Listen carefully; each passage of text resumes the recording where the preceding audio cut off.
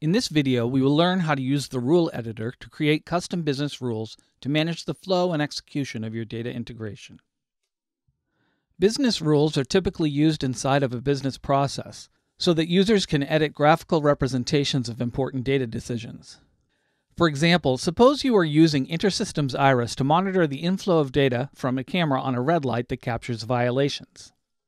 Data comes into the InterSystems IRIS integration through Real-Time Red Light Violation Business Service and is sent to the demo.ticket BPL business process to determine if the offending driver should receive a ticket, or if this data should just be sent directly to the archive.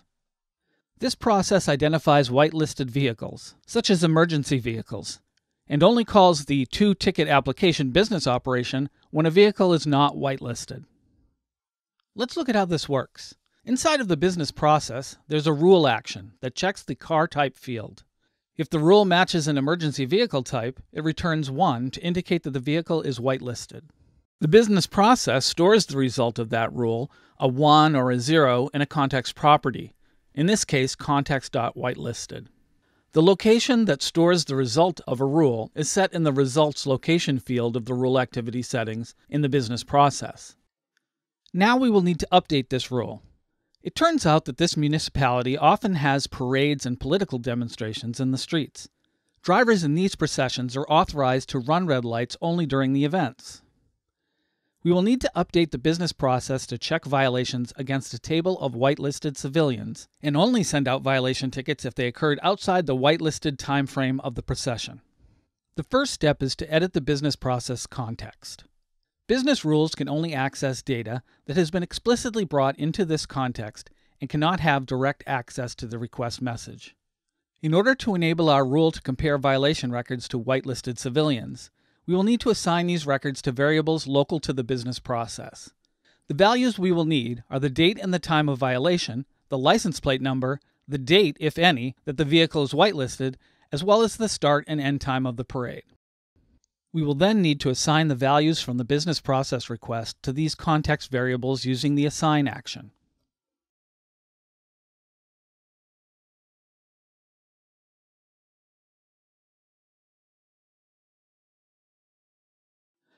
The whitelisted records depend upon a table lookup, so we will need to create a SQL query action to look into the database for a record.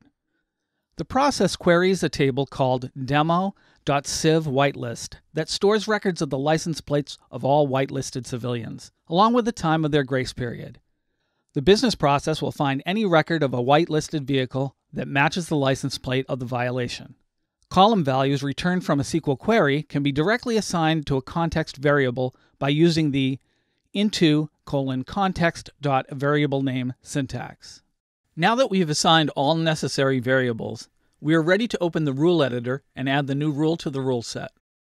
We can add elements by clicking the green plus button. In this case, we'll add a rule and call it check civilian whitelist. Next, we will add a when condition under the rule. Our first condition will check to see if the SQL query is empty.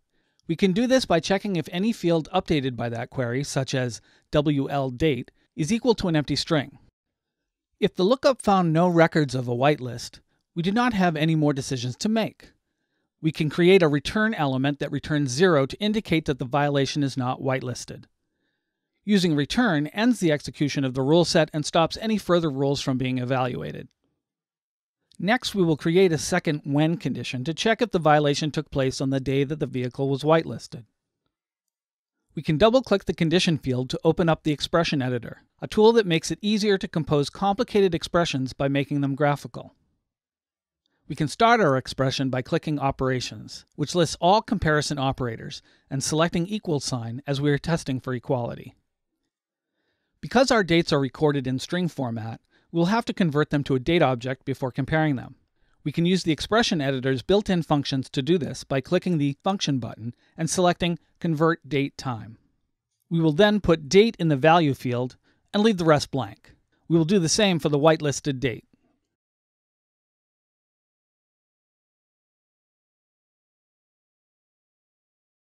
Next, we will create an AND statement that will only be evaluated if the date comparison rule evaluates to true.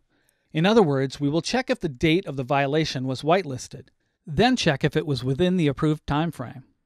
Selecting the AND element in the expression editor that we just created, we will click the Operations button again.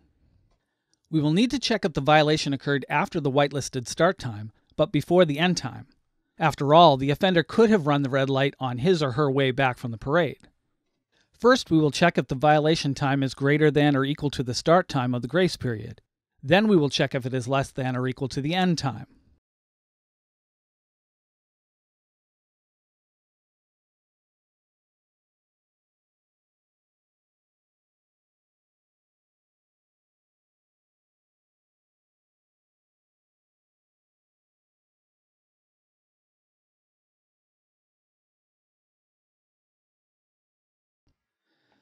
If both of these conditions are met, we will return 1 to the business process to indicate that the vehicle was whitelisted at the time of the violation.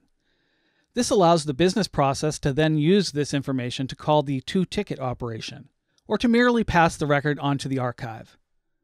In this video, you learned how to create business rules using the rule editor. For more information on using the rule editor, we recommend visiting documentation.